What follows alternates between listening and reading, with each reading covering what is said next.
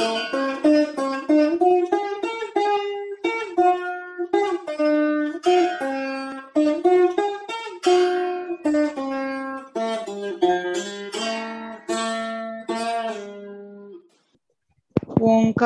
बिन्दुसंयुक्तं नित्यं ध्यायन्ति योगिनः।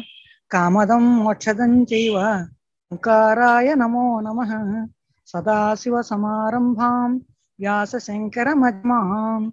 अस्मदाचार्य पर्यता वंदे गुरुपरंपरा शंकर शङ्करं केशव बादरायण सूत्र सूत्रभाष्यकृतौ वंदे भगवत पुनः पुनः। ध्यानमूलं गुरोर्मूर्ति, पूजामूलं पदम मंत्रूल मन्त्रमूलं गुरोर्वाक्यं, मोक्षमूलं गुरो हरि ओम। ओम। आप्यायन्तु मङ्गानि గురోపాహ హరి ఓం ఓం ఆప్యాయంతు మంగాని వాక్ ప్రాణ చక్షు శ్రోత్రమథో బలమింద్రియాణి చ సర్వాణి సర్వం బ్రహ్మోపనిషదం మాహం బ్రహ్మ నిరాకుర్యాం మా మా బ్రహ్మ నిరాకరోత్ అనిరాకరణం అస్తు అనిరాకరణం మే అస్తు తదాత్మని రతే ఉపనిషత్సు ధర్మా తే మయి సంతు తే మయి సంతు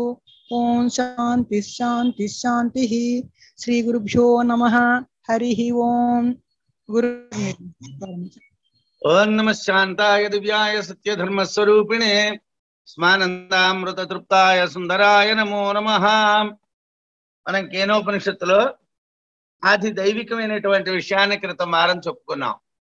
అని చెప్పుకున్నప్పుడు కొద్దిగా లోతుగా ఆది దైవికంతో పాటు అక్కడ ఉన్నటువంటి ఆకారం కోసం ఆ ప్లుతస్వరం కోసం ఇతర విషయాల్ని కూడా మనం చర్చించుకున్న ఆది జ్యోతిషం అన్నటువంటి విషయంలో ఇతర ఉపనిషత్తులు ఏమిటి చెప్తున్నాయి అన్నటువంటిది.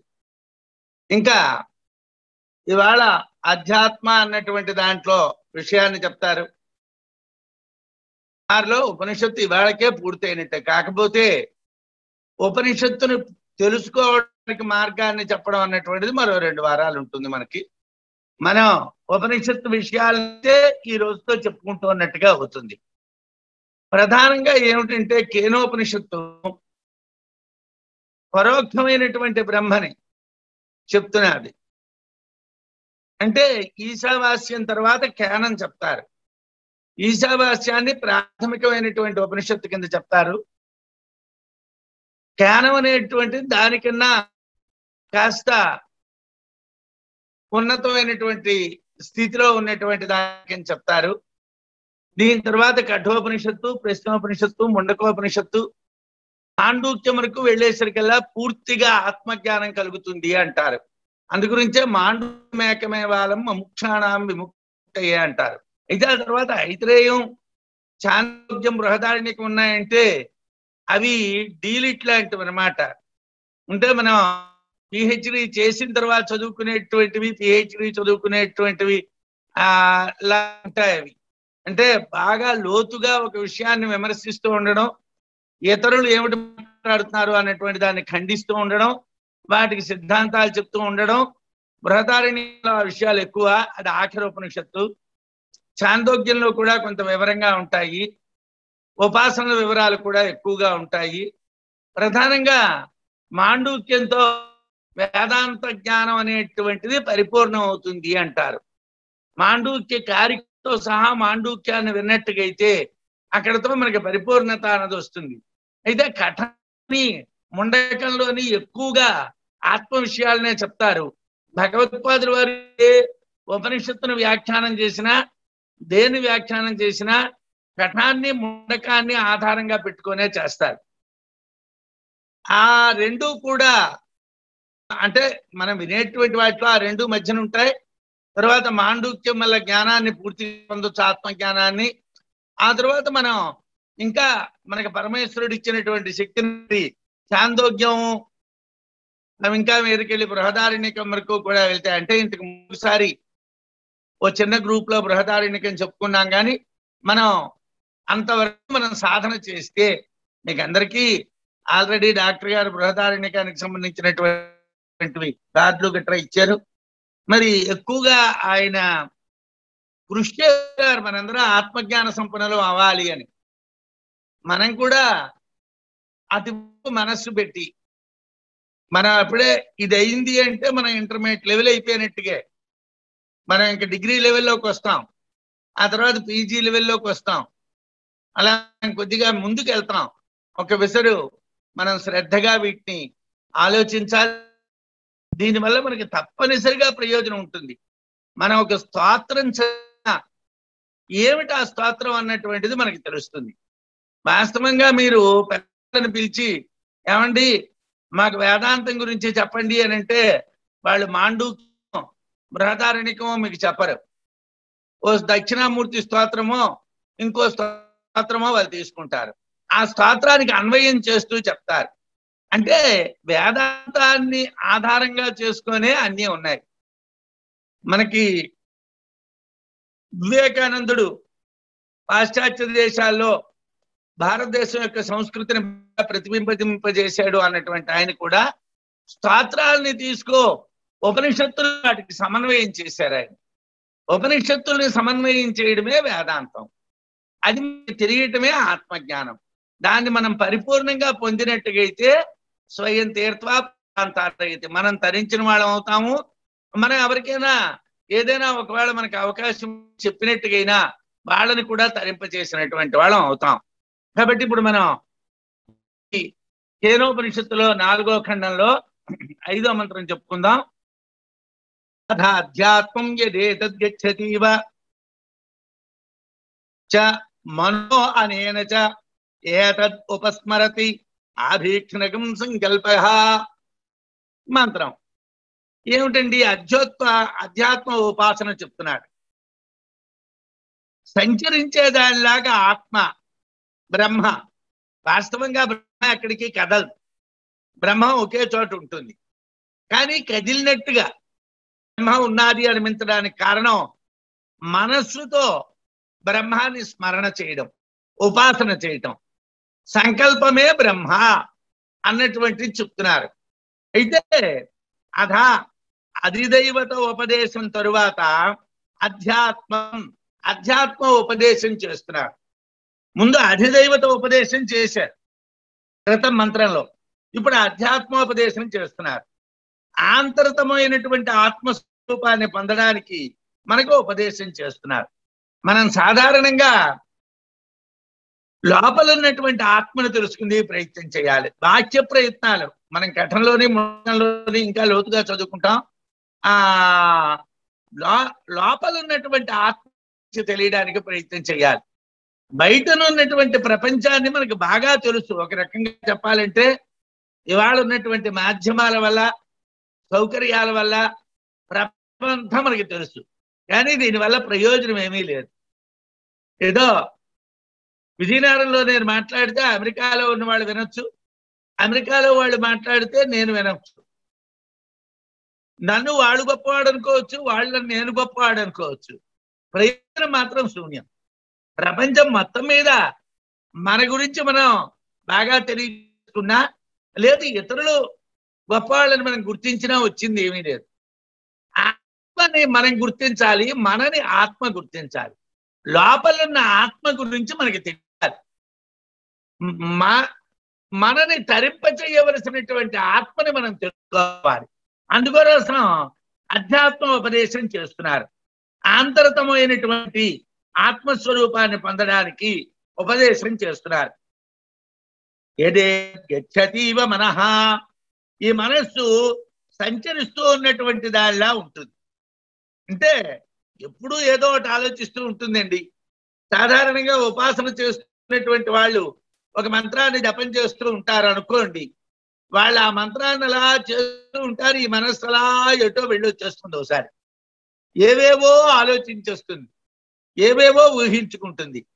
దీన్ని కష్టం దీన్ని కంట్రోల్లో పెట్టడం భగవద్గీతలో కృష్ణ పరమాత్మ కూడా ఈ మనస్సు అన్నటువంటిది దుర్నిగ్రహం కలం అన్నారు. దీన్ని నిగ్రహించడం కష్టమయ్యా ఇది చెంచలమైనటువంటిది అన్నారు. అందుకోసం ఇది గచ్చతీవచ మనహ ఏదేతత్? గచ్చతీవచ మనహ గచ్చతి ఇవచ. నిజంగా కదులుతున్నాడా? నిజంగా కదలడం లేదు. కదులుతూ ఉన్నట్టుకున్నటువంటి మనస్సుతో మనం ఉపాసన చేస్తున్నాం. సంచరిస్తూ ఉన్నటువంటి దానిలా ఉన్నటువంటి మనస్సుతో బ్రహ్మాన్ని గురించి మనం తెలుసుకుందుకు ప్రయత్నం చేస్తున్నాం. గచ్చతీవత మనహ అనేన చ ఏతస్మరతి అనేన ఈ ఈ మనస్సుతో ఏతత్ బ్రహ్మాన్ని ఉపస్మరతి దగ్గరగా స్మరణ చేస్తున్నాడు. మనం బ్రహ్మ పదార్థాన్ని దగ్గరగా స్మరణ చేస్తున్నాం. గుర్తు తెచ్చుకుంటున్నాం. దేంతోనే మనస్సుతో. మనస్సు ఎలా ఉంటున్నది?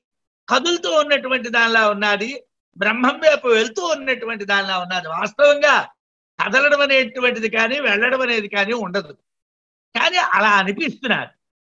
అనిపిస్తూ ఉన్నటువంటి మనస్సుతో మనం ఉపాసన చేస్తున్నాం. ఆ బ్రహ్మాన్ని తెలుసుకునే ప్రయత్నం చేస్తున్నాం. ఆభీక్షణం అంటే మిక్కిలిగా అంటే బాగా అతిశయించినట్లుగా సంకల్ప మనస్సంబంధమైనటువంటి సంకల్పం ఏది ఉన్నాదో అదే బ్రహ్మము.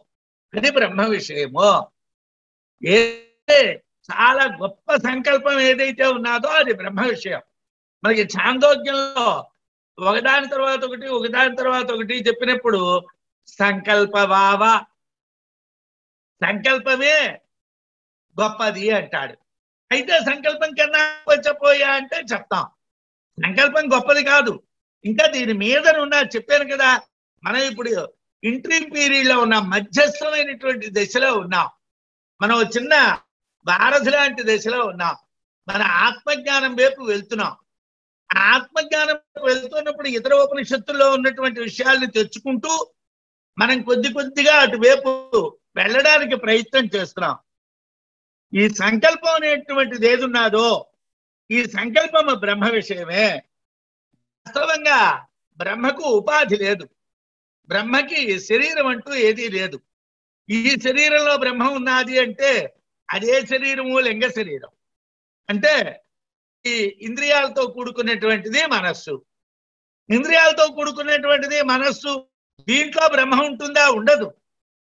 కాకపోతే దాంట్లోనే బ్రహ్మ ఉన్నట్టుగా మనం ఉపాసన చేయాలి.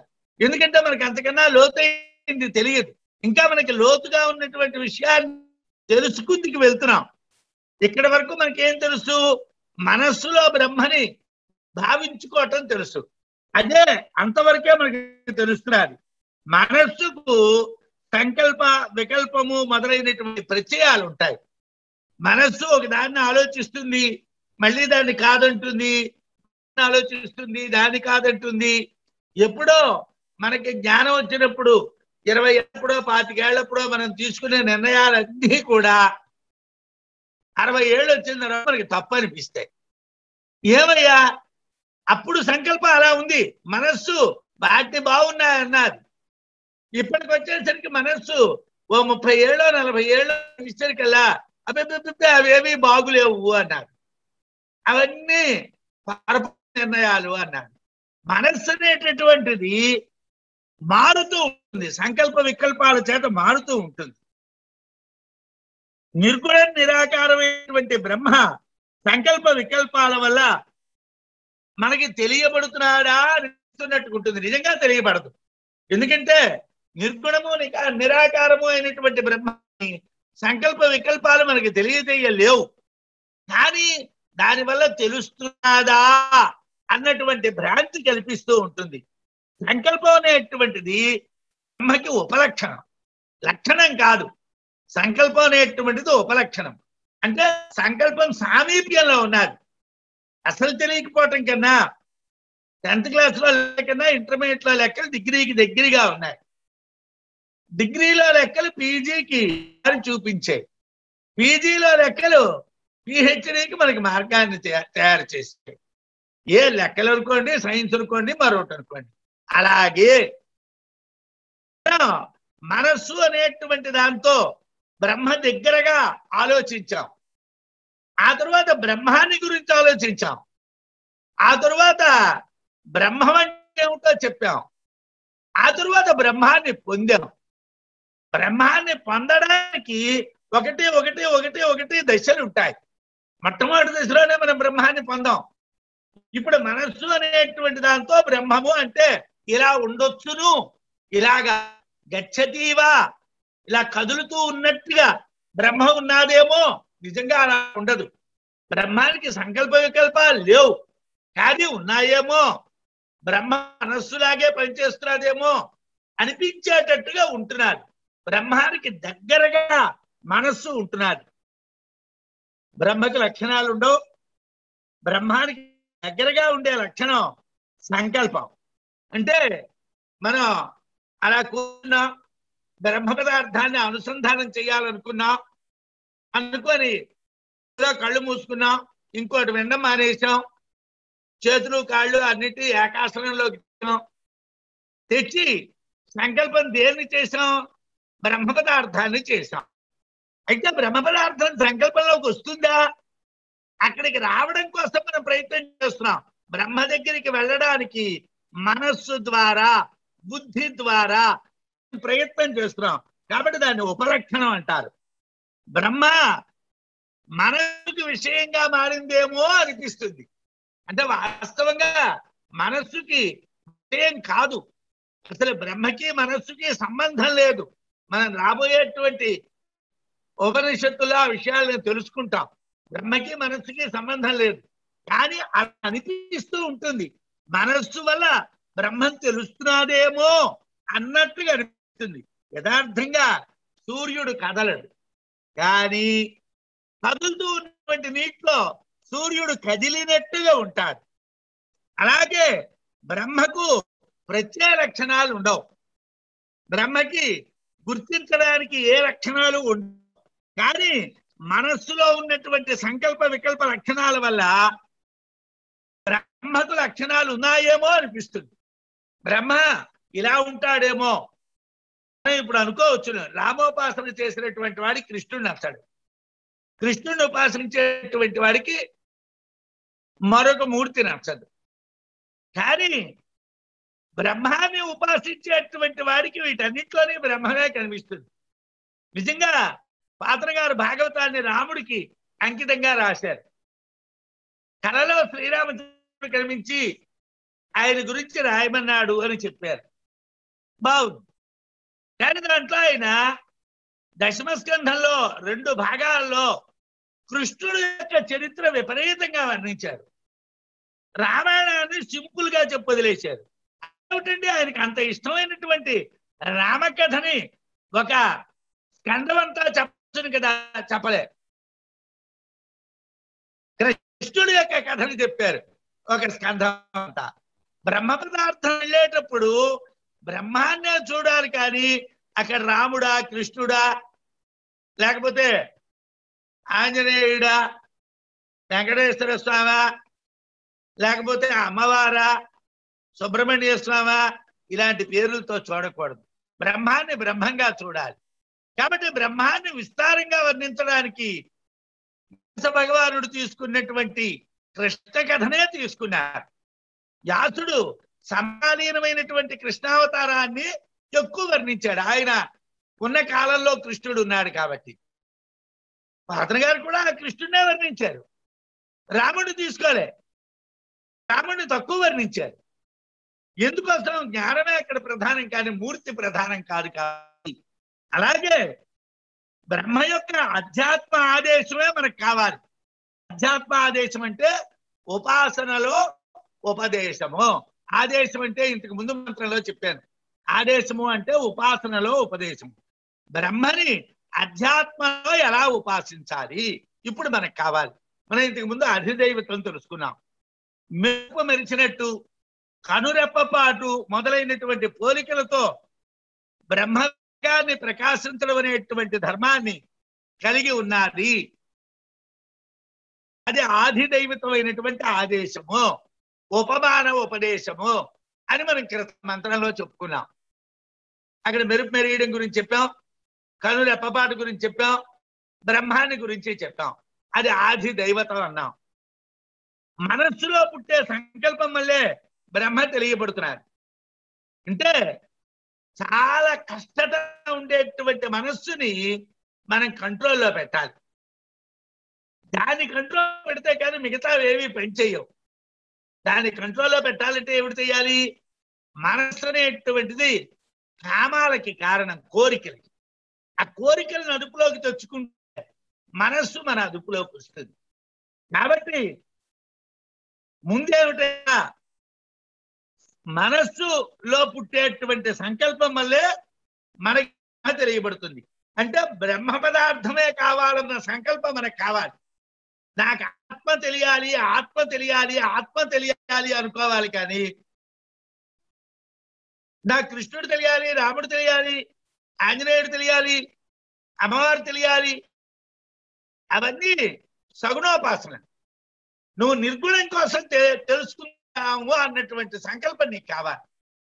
నీకు నిర్గుణం కోసం తెలుసుకుందాం అన్నటువంటి కోరిక ఉన్నట్టుగైతే ఇది అధ్యాత్మ ఆదేశం అవుతుంది. ఏమిటయా అధ్యాత్మ ఆదేశం బ్రహ్మ విషయంలో అధ్యాత్మ ఆదేశం అంటే ఏంటి? ఉపాసన బ్రహ్మాన్ని అధ్యాత్మతో ఉపాసించడం. ఎలాగా? మనస్సుతో సంబంధం పెట్టి చెప్తేనే బ్రహ్మ విషయం మామూలు వాళ్ళకి తెలుస్తుంది. మామూలు వాళ్ళు మందబుద్ధులు అన్నారు అక్కడ శంకరాచార్యులు వారు. మందబుద్ధులు అని ఎందుకన్నారంటే ఇప్పుడు మనకి బ్రహ్మజ్ఞానం కోసం చెప్పేటప్పుడు ఉపనిషత్తుల్ని బ్రహ్మసూత్రాల్ని ఉత్తమాధికారుల విషయం అంటారు. అంటే హిస్టరీ డీలిట్ చేసినటువంటి వాళ్ళు ఉపనిషత్తులు బ్రహ్మసూత్రాలు చదువుతారు. అసలు ఉపనిషత్తులు చదివితే బ్రహ్మసూత్రాలు చదివినట్టుగే ఎందుకంటే ఉపనిషత్తుల యొక్క సారాన్నే వ్యాస భగవానుడు బ్రహ్మసూత్రాల కింద రాశాడు. ఉపనిషత్ ప్రమాణం లేకుండా బ్రహ్మసూత్రాలు లేవు. కాబట్టి ఉపనిషత్తులు చదివితే బ్రహ్మసూత్రాలు ఆటోమేటిక్గా చదివినట్టుగే అది ఉత్తమాధికారులు. అంటే బాగా చదివిన వాడు ప్రకరణ గ్రంథాలు మధ్యమాధికారులు మనం వివేక చూడమని అనుకుంటున్నాం. ఇంతకు ముందు మీరు ప్రకరణ గ్రంథాలు కొన్ని చెప్పుకున్నారు. ఆ ప్రకరణ గ్రంథాలు ఏమిటి చేస్తాయి? ఒక విషయాన్ని తీసుకో సాగదీసి సాగదీసి సాగదీసి సాగదీసి చెప్తాయి. ఇక్కడ ఒక మంత్రంలో చెప్పినటువంటి విషయాన్ని అక్కడ వాళ్ళు ఒక యాభై సూత్రాల్లో నలభై సూత్రాల శ్లోకాల్లో చెప్తారు. అంత సాగదీసి ఎందుకు చెప్తారండి అని అంటే మనకి వాడికి అర్థం అవటం కోసం. చెప్పిందే చెప్తారు.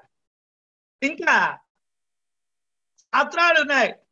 ఆ స్తోత్రాలు ఎందుకండి అని అంటే మందబుద్ధుల కోసం. అంటే బిలో యావరేజ్ వాడి కోసం. వాడికి మామూలుగా అయితే నిర్గుణ బ్రహ్మము అని ప్రారంభించాం అనుకోండి రేపు క్లాసుకి రాడు. ఎందుకంటే వాడికి అర్థం కాలేదు వాడికి అర్థం కాలేదని అండు. ఎందుకంటే అది మనకి అక్కర్లేని విషయం అంటాడు. అందుకోసం వాడికి నిర్గుణ బ్రహ్మ చెప్పకూడదు. కూడా బ్రహ్మ అని చెప్పాలి. అది ఎక్కడి నుంచి వస్తుంది? మనస్సుతోనే వస్తుంది. అంటే మనస్సు బ్రహ్మాన్ని ఎందుకు చెప్పాలండి? సంకల్పంతో బ్రహ్మాన్ని ఎందుకు ముడిపెట్టి చెప్పాలండి? అంటే బిలో యావరేజ్ వాళ్ళ కోసం చెప్పాలి. అందుకే అధ్యాత్మంలో బ్రహ్మోపదేశం చేస్తున్నారు. వాస్తవంగా అధ్యాత్మంలో బ్రహ్మోపదేశం ఎందుకండి అని అంటే సామాన్యులకు కూడా అందుబాటులోకి రావటం కోసం. ఇలా నిరుపాధి అయినటువంటి బ్రహ్మను ఎటువంటి ఉపాధి అనేటువంటి బ్రహ్మను మనస్సు యొక్క సంకల్ప వికల్పాలతో వికల్పాల ద్వారా తెలియచ్చు. మనస్సుకుండేటువంటి సంకల్ప వికల్పాల ద్వారా బ్రహ్మాన్ని తెలియచ్చు. ఇలా ఎందుకు చెప్పారండి? మందబుద్ధులకు ఉపాధి లేనటువంటి బ్రహ్మ అర్థం కాదు రాముడు అంటేనే భగవంతుడు అంటారండి.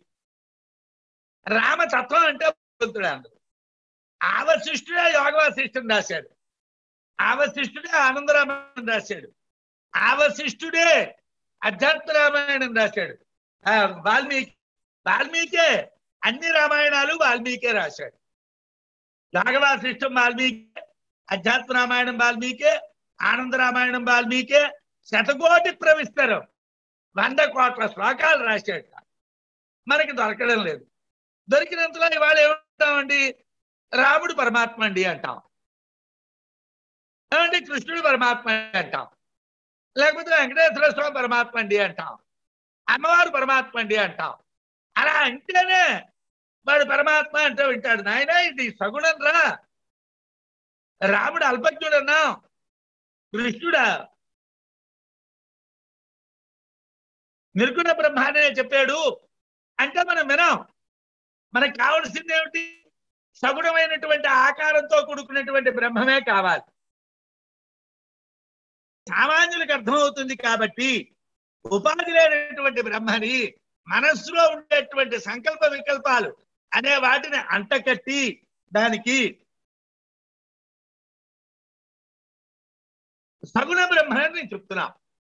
సగుణ బ్రహ్మాన్ని ఎందుకు చెప్పాలంటే సామాన్యుడికి అర్థం అవడం కోసం చెప్పాలి.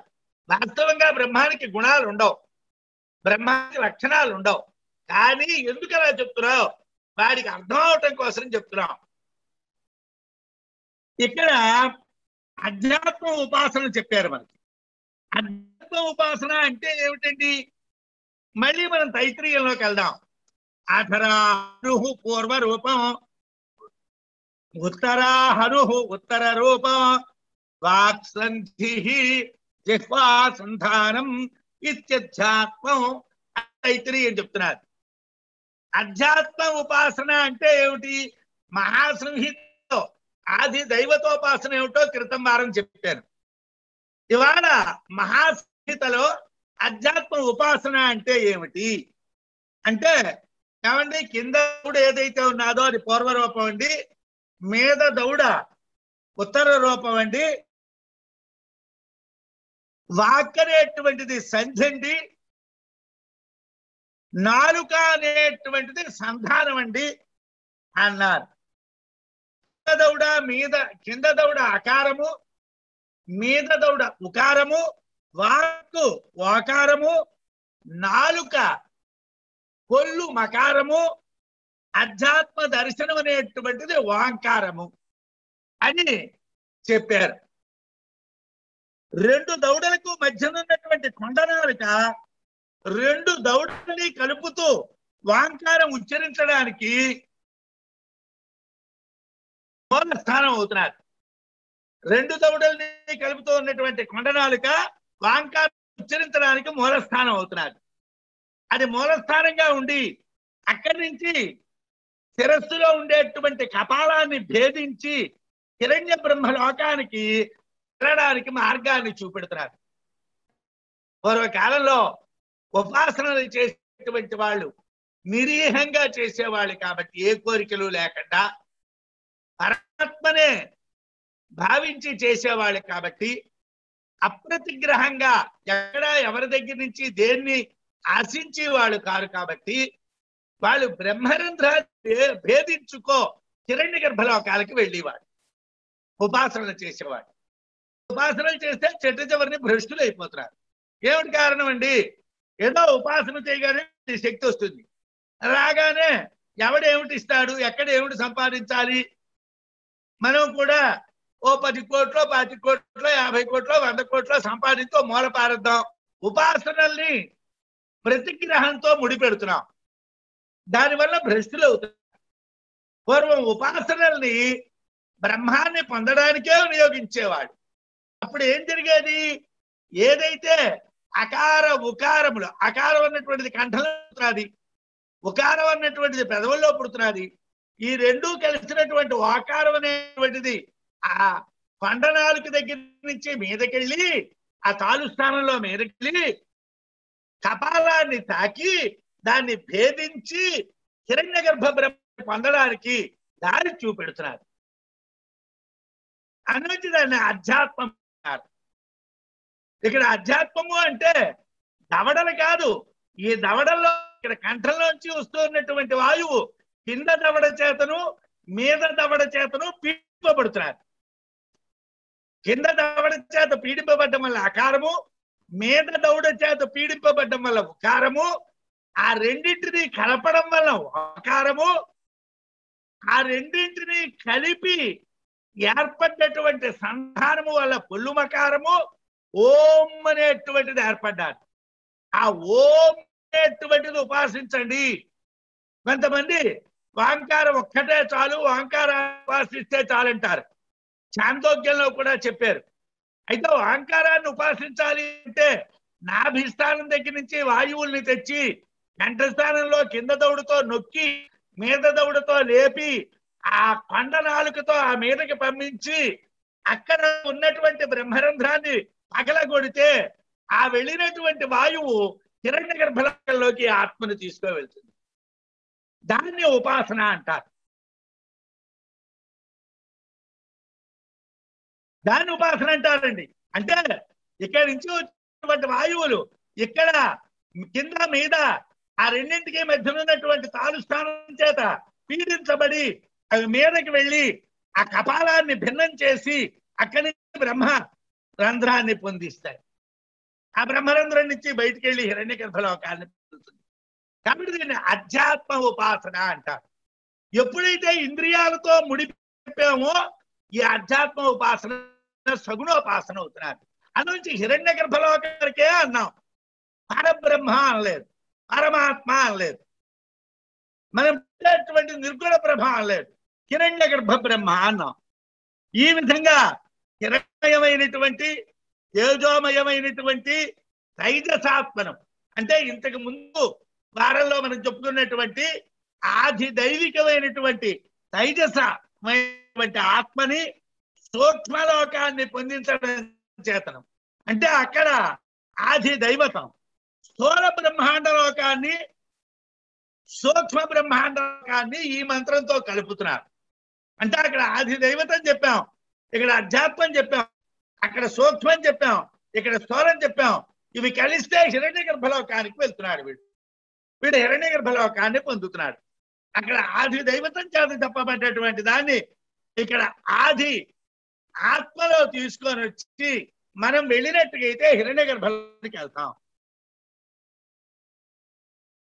సయేష హృదయ ఆకాశ తస్మిన్నయం పురుష మనోమయ అమృతమయ హిరణ్మయ అంతరేణ తాలుకే ఏష ఇవ ఆలంబతే శేత్రయోని ఎత్రాసౌ కేశాంతే వివర్తతే యపోహ్య శీర్షాలే భూరితి అగ్నౌ ప్రతిష్టతి భవరితి వాయౌ ప్రతిష్టతి సువరిత్యాదిత్యే ప్రతిష్టతి మహ ఇది బ్రహ్మణి ఆప్నోతి స్వరాజ్యం ఆప్నోతి వనస్పతిం వాక్పతి చక్షుష్పతి శ్రోత్రపతి విజ్ఞానపతి ఏతో భవతి అని ఈ తైత్రీయంలోనే మనకి మరో మంత్రం ఉంది.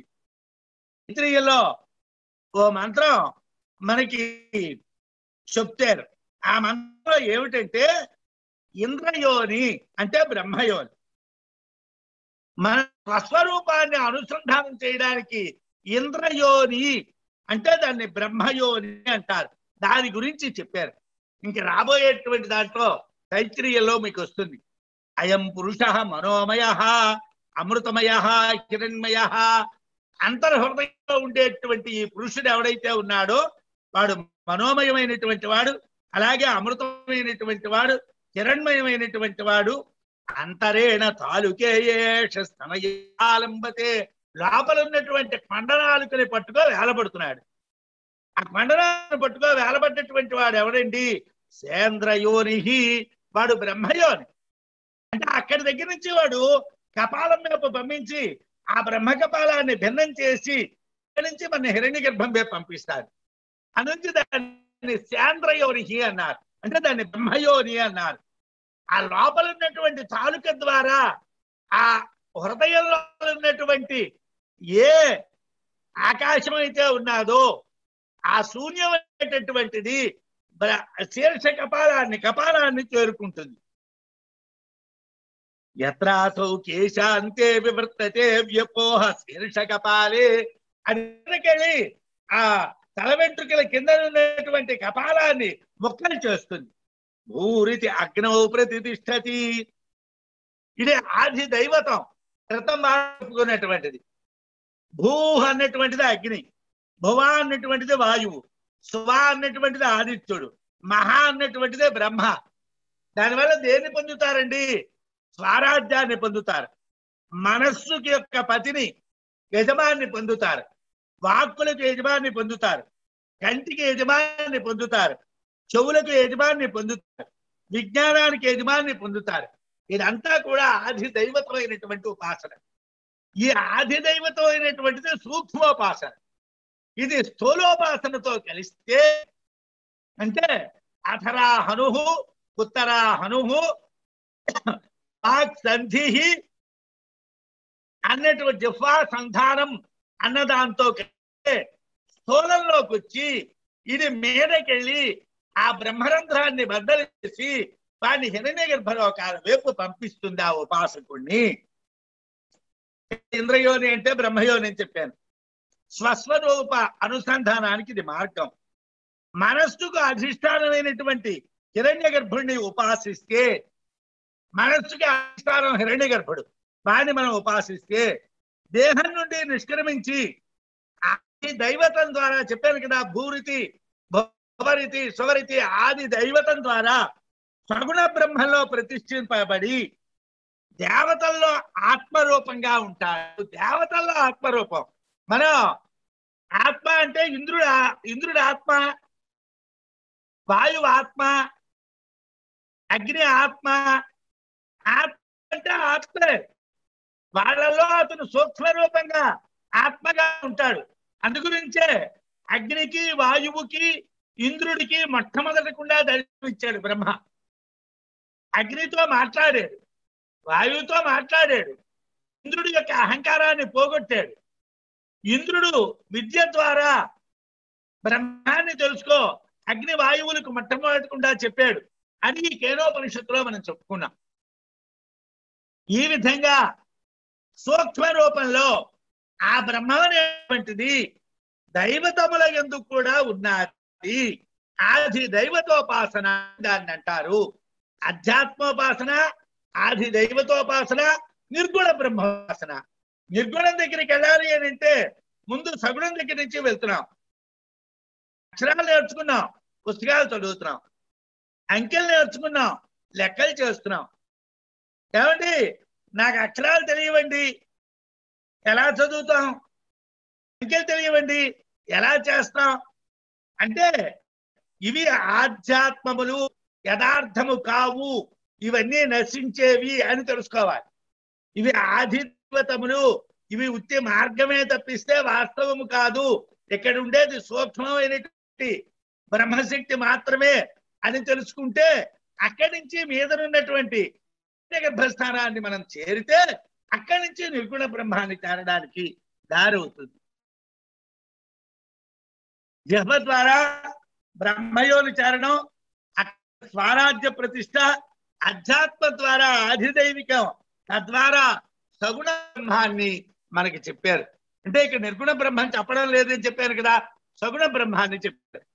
శ్రోతస్య శ్రోత్రం మనసో మనహ యద్వాచోహ వాచం తగు ప్రాణస్య ప్రాణ చక్షుష చక్షు ముచ్య ప్రేత్యాస్మాల్లోకాదమృతా భవంతి అని కేపనిషత్తులో రెండో మంత్రంలో చెప్పారు.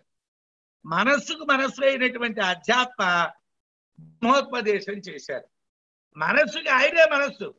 వాస్తవంగా మనస్సు పరమాత్మను తెలుసుకోలేదు. ఆయనే మనస్సు అనేటువంటి దాన్ని తెలియచేస్తున్నాడు మననీయమైనటువంటి వాడు ఆయనే అని మనం చెప్పుకున్నాం దాని ద్వారా మనకి బ్రహ్మోపదేశాన్ని చేశారు. యాయతీవ లేలాయతీవ అనేటువంటి బృహారణికలో చెప్పబడ్డటువంటి మంత్రాలు ఆత్మ ధ్యానం చేస్తూ ఉన్నట్టుగా కదులుతూ ఉన్నట్టుగా ఉంటుంది అంటారు. నిజంగా ఆత్మ కదులుతుందా కదలదు? లేలాయతీవా కదులుతూ ఉన్నట్టుగా ధ్యాయతి ధ్యానం చేస్తూ ఉన్నట్టు దేన్ని ధ్యానం చేస్తారండి? ఆత్మ ఉన్నది అది ఒక్కటే ఉన్నప్పుడు దాన్ని దేంతో ధ్యానం చేస్తారు? కాబట్టి వేరే ధ్యానం చేయడం అనేది ఉండదు. ధ్యానం చేస్తూ ఉన్నట్టుగా కదులుతూ ఉన్నట్టుగా యథార్థములు కావవి ఉపాధిగతమైనటువంటి విషయాన్నే చెప్పారు కానీ యథార్థంగా నిర్గుణ బ్రహ్మాన్ని అక్కడ చెప్పలేదు. ఉపాధిగతమైనటువంటి బ్రహ్మాన్నే చెప్పారు. ఇక్కడ కూడా గచ్చతీవా కదులుతూ ఉన్నట్టుగా వెళ్తూ ఉన్నట్టుగా ఉన్నది అని ఈ మంత్రంలో చెప్పడంలో కూడా అలాగే బృహదారణీకంలో చెప్పినట్టుగా ఇది కూడా సగుణమైనటువంటి బ్రహ్మాన్ని మాత్రమే చెప్తుంది. ఇంకా ఏమిటండి ఈ విషయం అని అడిగాడు. వాక్య భాష్యం చెప్తున్నారు. అద అనంతరం అంటే ఆ తరువాత ఆత్మకు సంబంధించినటువంటి ఉపాసన చెప్తున్నారు. ఉచ్యతే అన్నటువంటి క్రియతో వాక్యాన్ని మనం పూజించాలి. ఇక్కడ క్రియ లేదు ఉచ్యతే చెప్తున్నారు. ఏమిటి? మనస్సు యొక్క సంకల్ప వికల్పాలతో బ్రహ్మ కదిలేటట్టుగా ఉన్నది నిజంగా బ్రహ్మ కదలదు కానీ మనస్సు యొక్క సంకల్ప వికల్పాల వల్ల బ్రహ్మ కదిలినట్టుకున్నది అలాగా బ్రహ్మ కదిలినట్టుకున్నది అన్నటువంటి లక్షణంతో ఏ బ్రహ్మను చెప్పారో ఆ బ్రహ్మ మనస్సుకు విషయమా అనిపిస్తుంది. నిజంగా విషయం కాదు. ఇది మనస్సు వల్ల మనకి తెలియబడుతున్నదా మనస్సే బ్రహ్మాన్ని చూపెడుతున్నదా కాదు. దాన్ని అంతఃకరణం మనస్సు అంటాం కానీ మనస్సు ద్వారా పొందబడేది కాదు. వాచా నివర్తంతే అప్రాప్య మనసా సహా. వాక్కులు కానీ మనసు కానీ ఆత్మని మనని పొందించలేవు. మనస్సు వల్ల ఆత్మని పొందలేము వాక్కుల ఆత్మని పొందలేం కాబట్టి యథార్థంగా మనకి ఆత్మ మనస్సుకు విషయం కాదు మనస్సుకు బ్రహ్మ విషయం కాదు. మనస్సు బ్రహ్మను తెలియదు నత్ర చక్షుర్గచ్చతి నవాగచ్చతి నా మనః న విద్వా తదనుశిష్యాత్ అని కేనోపనిషత్తులో మూడో మంత్రంలో చెప్పారు. ఒకటో అధ్యాయం. అక్కడి కళ్ళు వెళ్ళవు కళ్ళు చూడవు మా- మాటలు మాట్లాడవు.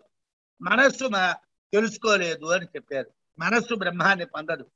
ఎన్ మనసానమే ఏనాహు మనోమతం తదేవ బ్రహ్మత్వం విద్ధి. నేదం ఎదిదంబుపాసతే అని ఒకటి ఐదులో కూడా ఎన్ మనసానమనుతే మనస్సుకు ప్రత్యేకంగా మననం చేసే శక్తి లేదు. బ్రహ్మనే మనస్సు మననాన్ని చేసేటువంటి శక్తిని పొందుతున్నది అని కూడా మనకు చెప్పారు. మనస్సు బ్రహ్మచేత వ్యాపింపబడి ఉంటుంది అని పెద్దలు చెప్పారు కదండి అని అంటే మనస్సుకు మనన శక్తి రూపం బ్రహ్మవే కాబట్టి. మనస్సు మననం చేయాలన్నా బ్రహ్మశక్తి వల్లే చేయగలదు కాబట్టి. మనస్సును బ్రహ్మను తెలిసిందా? అన్నట్టు ఉంటుంది అని అంటే మనస్సు బ్రహ్మని తెలిసిందా? అన్నట్టు ఉంటుంది అని అంటే అది ఉత్తి ఊహ మాత్రమే ఆ మనన శక్తిని చెప్పారు కాబట్టి మనం ఆ మనస్సు తెలుసేమో అనుకుంటాం కానీ వాస్తవంగా బ్రహ్మాన్ని మనస్సుకు తెలియదు. బ్రహ్మ అంటే ఆమె ఆత్మకు దగ్గరగా మనస్సు ఉంటుంది అని శృతి చెప్తున్నారు ఉపాసకులు మనస్సుతో బ్రహ్మను భావన చేస్తారు. కాబట్టి మనస్సును మనస్సు బ్రహ్మని పొందిందా అన్నట్లు ఉంటుంది. యథార్థంగా పొందదు. పొందిందా అన్నట్టుగా ఉంటుంది. బ్రహ్మచే ప్రవర్తించేటట్టు చేయబడ్డటువంటి మనస్సు మాటి మాటికి సంకల్పాలు చేస్తూ ఉంటుంది.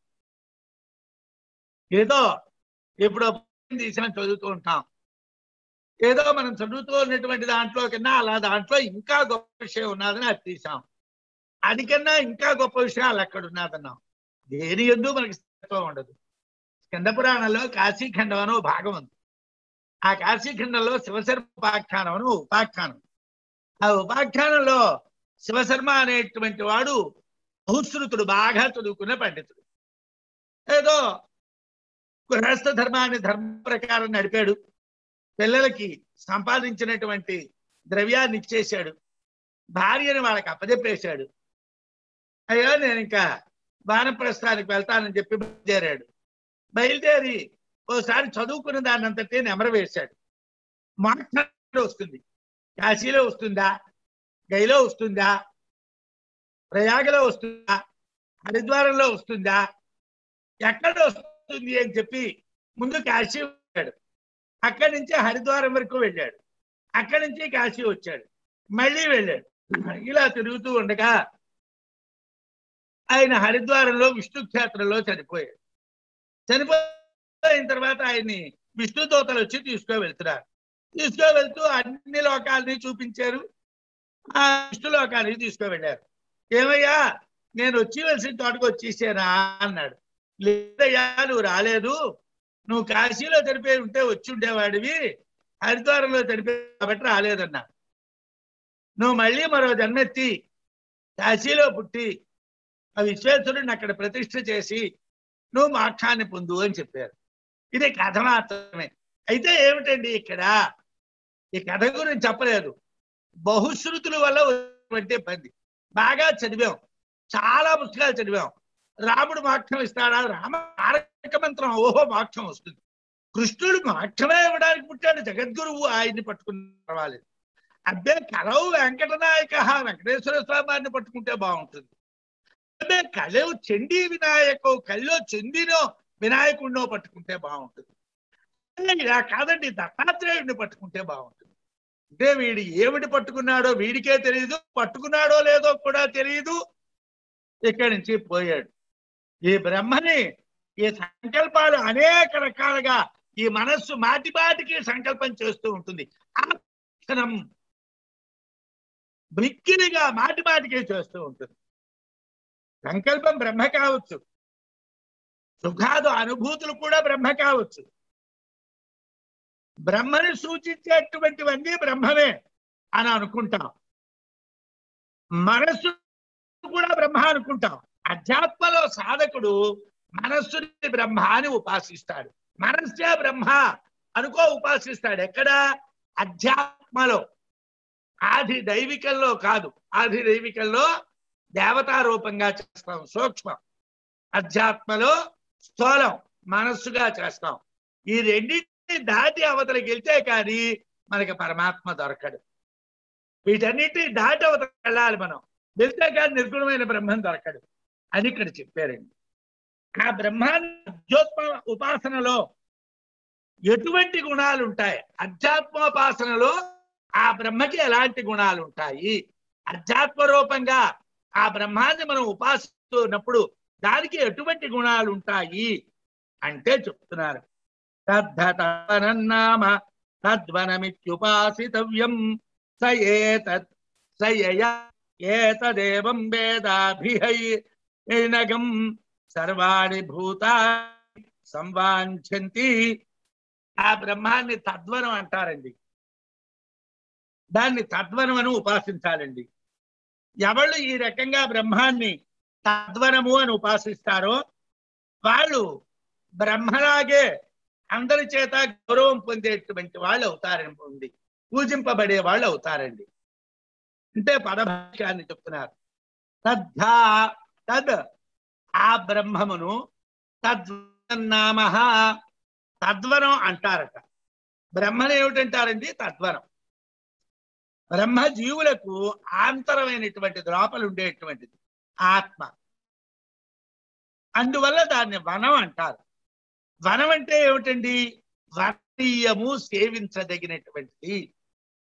వన శబ్దే అనే అర్థంలో శబ్దం అనేటువంటి అర్థంలో ధాతువుని చెప్తున్నారు. శబ్ద బ్రహ్మ మనం ఇక్కడ కేనోపనిషత్తులో చెప్పుకుంటున్నాం. సగుణ బ్రహ్మాన్నే కేనోపనిషత్తులో చెప్పుకుంటున్నాం.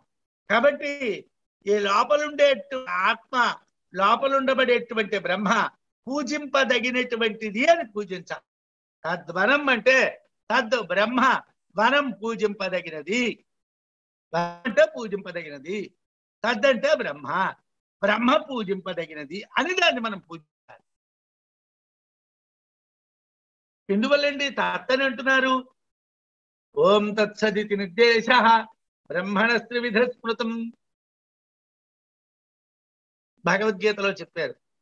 వాంకారము పరమాత్మ యొక్క రూపం. వాంకారం ఉపాసితవ్యమైనటువంటిది. సత్ అనేటువంటిది జ్ఞానం. సత్ అనేటువంటిది మార్గం. ఇప్పుడు మనం ఇక్కడ చెప్పుకున్నప్పుడు అధ్యాత్మలో చెప్పుకున్నప్పుడు సత్ అనేటువంటి మార్గం గుండా వెళ్ళాం. ఇంద్రియాల ద్వారా వెళ్ళాం. ఇంద్రియాల ద్వారా వెళ్ళాక ఏమిటి తెలుసుకున్నాము? తత్వం తెలుసుకున్నాం జ్ఞానాన్ని తెలుసుకున్నాం. ఓంకారాన్ని పొందొచ్చు. సగుణమైనటువంటి ఓంకారమే మనకు తెలుస్తున్నారు నిర్గుణమైనటువంటి ఓంకారం తెలియాలంటే తత్తు కూడా నశించిపోవాలి. ఓ అనేటువంటిది శబ్దం అనేటువంటిది మనలో లీనమైపో ప్రత్యేకించి శబ్దం ఉండకూడదు. ప్రత్యేకించి ఇంద్రియాలు ఉండకూడదు. ఇప్పుడు మనం నిర్గుణంలోకి వెళ్తాం. కానీ ఇక్కడ ఎలాగని ఉపాసన చేయాలండి. తద్ధ తద్ధం. తద్ధ. తద్ధ అంటే తత్ అంటే ఆ బ్రహ్మము. ఆ బ్రహ్మాన్ని తద్వనన్నామహ. దాన్ని తద్వనం అంటారండి. తద్వనం అంటే ఏమిటండి? అంటే ఆంతరతమైనటువంటి ఆత్మ పూజింపదగినది. తత్ వనం తద్వనం. తత్ అంటే బ్రహ్మము వనం అంటే పూజింపదగినది. అంటే పూజింపదగినటువంటి బ్రహ్మ. బ్రహ్మమును తద్వనం అంటారు. తద్వనం అనేటువంటి గుణాన్ని చెప్పే పేరుతో బ్రహ్మాన్ని ఉపాసించాలి. జ్ఞానంతో ఉపాసించాలి అని అర్థం. ముందు జ్ఞానం అనేటువంటి సంపాదిస్తే ఆటోమేటిక్గా బ్రహ్మం తెలుస్తుందండి. జ్ఞానం లేకుండా బ్రహ్మం ఎలా తెలుస్తుందండి? ముందు జ్ఞానం కావాలి. కాబట్టి దాన్ని తద్వనం అన్నారు.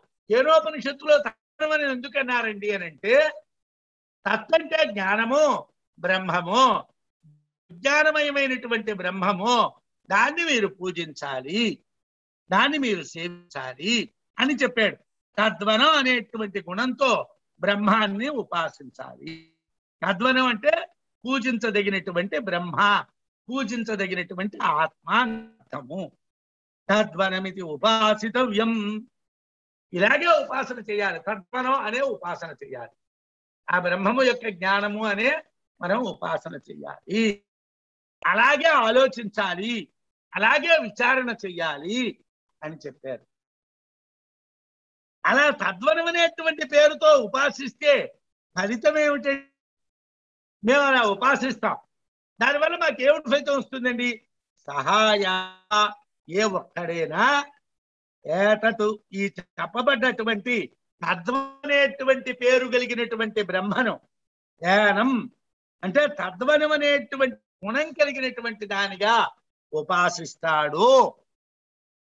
తద్వనమనేటిది బ్రహ్మ తద్వనమనేటువంటిది గుణము. తద్వనమనేటువంటిది తత్వం అంటే బ్రహ్మము. వనము అంటే పూజింపదగింది. పూజింపదగినటువంటి బ్రహ్మ అదే. పూజింపదగినటువంటి బ్రహ్మ గుణము కలిగినటువంటిది అదే. అలా ఎవడైతే ఉపాసిస్తాడో అందరి చేత పూజింపదగినటువంటిది అని ఎవడైతే ఉపాసిస్తాడో అటువంటి యానం ఉపాసకుణ్ణి. అలా ఉపాసన చేసేటువంటి వాడు సర్వాణి భూతాన్ని అన్ని జీవులు కూడా అభిసంవాంఛంతి. బ్రహ్మలాగానే వాడిని కూడా ప్రార్థిస్తాయి. వాడినే బ్రహ్మలాగా భావిస్తాయి వాడినే హిరణ్య గర్భ బ్రహ్మ అని పూజిస్తాయి.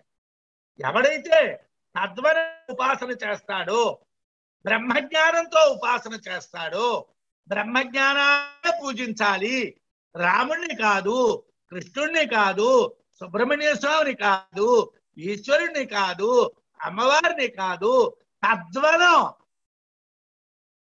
బ్రహ్మము పూజింపదగినది అని ఎవడైతే పూజిస్తాడో ఆ బ్రహ్మాన్ని ఆ విధంగా పూజించేటటువంటి వాడిని బ్రహ్మలాగా చూస్తారు.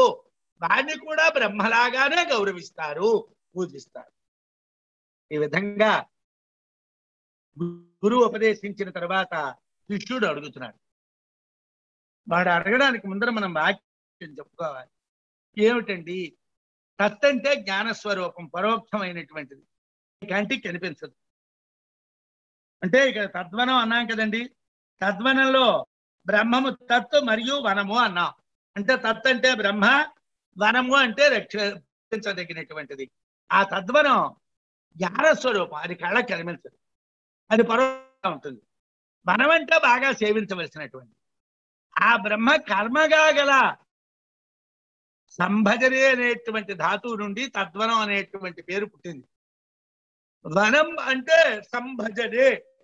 వన సంభజనే. వన అన్నటువంటి ధాతువుకి పూజించుట అన్న అర్థం చెప్పండి. వన అన్నటువంటి ధాతువు పూజించుట అన్నటువంటి అర్థం చెప్తే తత్ బ్రహ్మ పూజించదగినటువంటిది అన్నటువంటి పేరు దానికి వచ్చింది. తద్వనం అన్నటువంటి పేరు వచ్చింది. ఇది సగుణ బ్రహ్మం పేరు. అందువల్ల సగుణంగా బ్రహ్మాన్ని తద్వనం అని ఉపాసించాలి.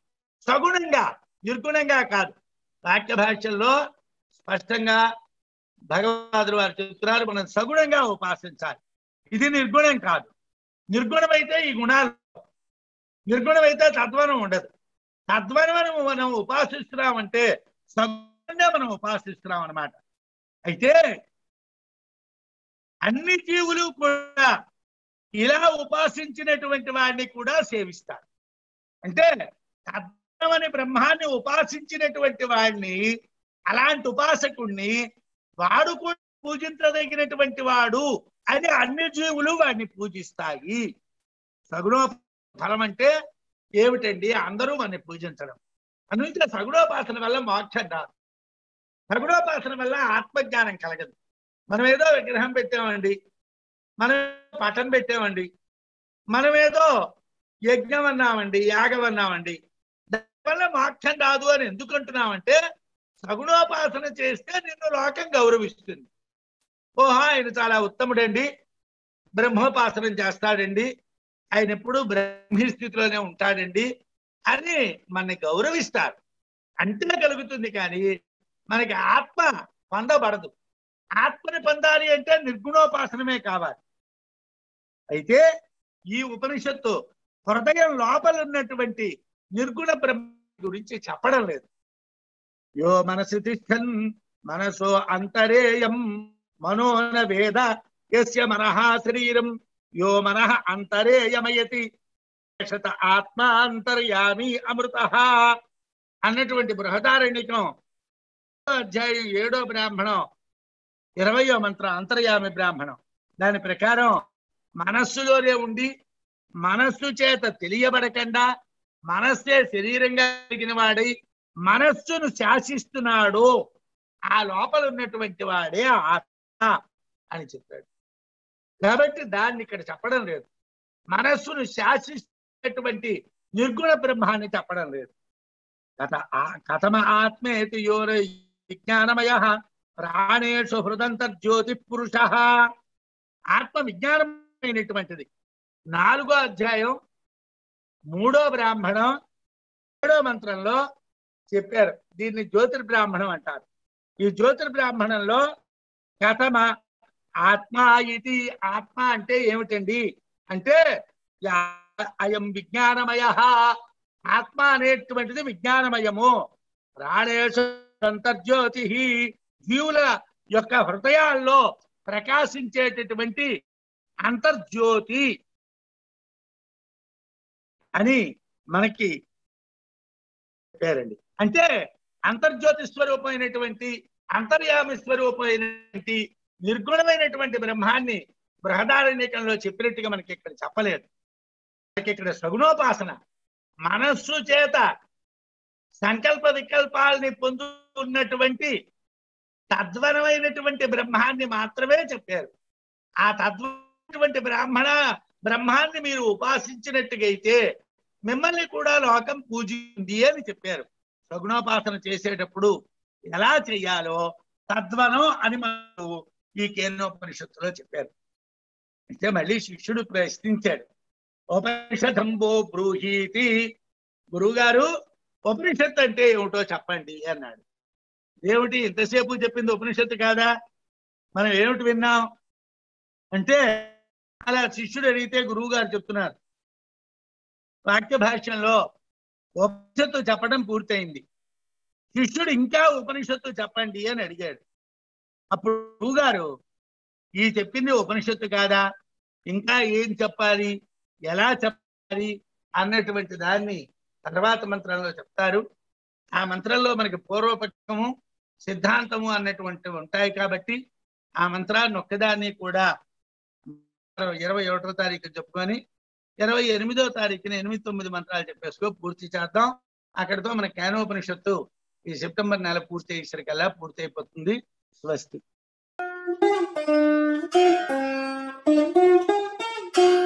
Thank you.